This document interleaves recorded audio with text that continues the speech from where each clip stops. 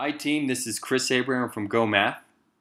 Today we're going to be uh, continuing uh, these MTEL Math videos as part of the 2013-2014 MTEL Math Workshop Series. I want you to, uh, I want to start with number 5 on the 53 Math MTEL. Now this is, uh, is a great problem. It's got a lot of things in it and I have a lot of teachers that always ask me about, you know, base 3 and base 10 and what's going on with the, with the cards. So um, I want you to enjoy this video. Let me know what you think, and uh, we'll talk about it at the end, okay? All right, let's get started. Let's take a closer look. The first thing I want to do is read the question. Number five, use the diagram below to answer the question that follows. They give us this diagram, give us a key, then it says, a teacher is using cards to model numbers in base 3 what base 10 number is represented by the diagram. Then it gives us these answers. Your mind automatically looks at these cards, looks at the key and the cards, and then back at the key, trying to find meaning. Is there meaning in the black and white? Black, white, black, white, black? Is there a meaning somehow that the two is on the key but not represented in the card. This is, you know, totally natural because this test is very tricky. You naturally are going to try and make meaning and see if there's a pattern that you can decipher. Well, guess what? In this problem, there's not. This problem here merely wants you to put in the values. So you're gonna you're gonna start with this number here. In fact, they could have just given you this number and said it's written in base 3. What base 10 number is represented. Alright, but they didn't. Alright. So you have this, this uh, number here. Now it comes down to what the heck is base 3 and what's going on with base 10.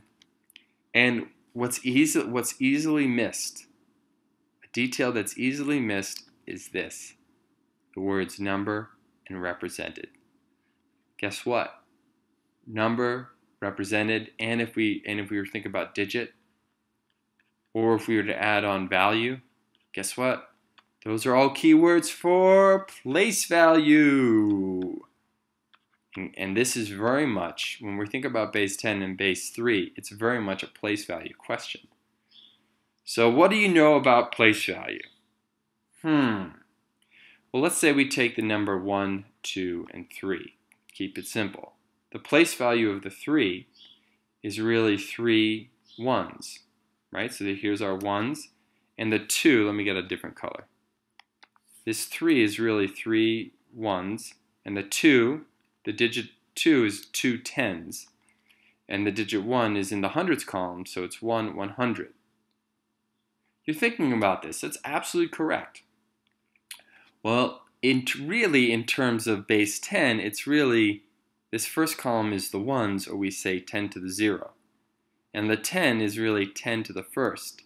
And the 100 is really 10 to the second. So yes, we could express the 3 as 3 times 1 equals 3. Or we could say 3 times 10 to the 0 is 3. And the 2 would be 2 times 10 to the first is 20. And the 1 would be 1 times 10 to the second is 100. Now when I add up my values, let's make a little more room here. I add up my values, 3, 20, 100. I get 123. And that's our number in base 10. Now, base 3 is a little different. A little different. We're going to start with base 3, so I think the easiest thing to do for each one of the numbers above it is just, rather than save your time here in thinking about in terms of base 3, now change your bases. Instead of 10 to the 0, it's 3 to the 0. This would be 3 to the first. This would be 3 to the second.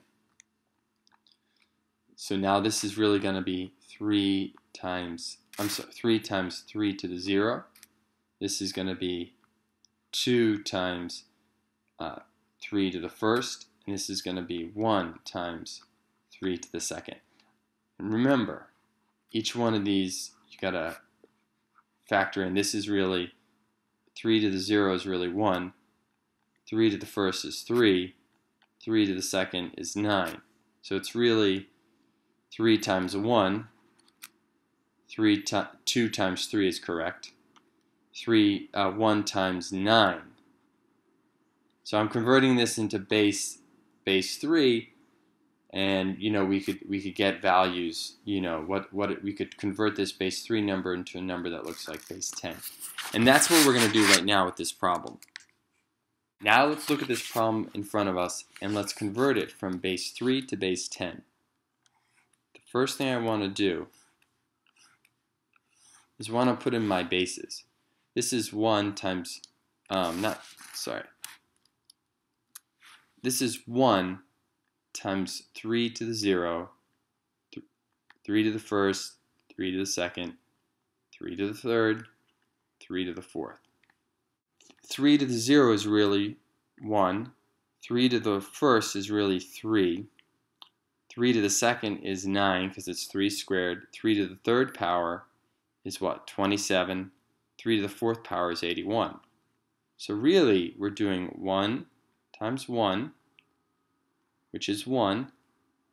This would be uh, 0 times 3, which would get you 0. This is 1 times 3 to the second, or 1 times 9, which gets you 9. This is 0 times 27, gets you to 0. You don't even have to do those, the ones with the zeros. This is 1 times 81, gets you your 81. So really, when I add up these digits now, because now I want to convert it into base 10, you get 81 plus 9 plus 1 gets you 91. And there's your answer. Remember, no matter what the numbers are, it's always going to be the first number times whatever the base is. So if we're doing base 10, it's 10 to the 0, 10 to the first, 10 to the second, 10 to the third. And this is how you should, you know, four, five, six, seven. This is how you should think of that number. It's and always remember 10 to the 0 or 3 to the 0 is always 1. Okay, team, I hope you enjoyed this. Check out more videos. If you need extra help, check out the website. Um, use the links to uh, check out the website and go to um, one of the MTEL math workshops. I'm sure you'll find it extremely helpful. Take care, team. Bye bye. Hi team, I wanted to uh, encourage everyone if you have time to check out one of the MTEL Math workshops.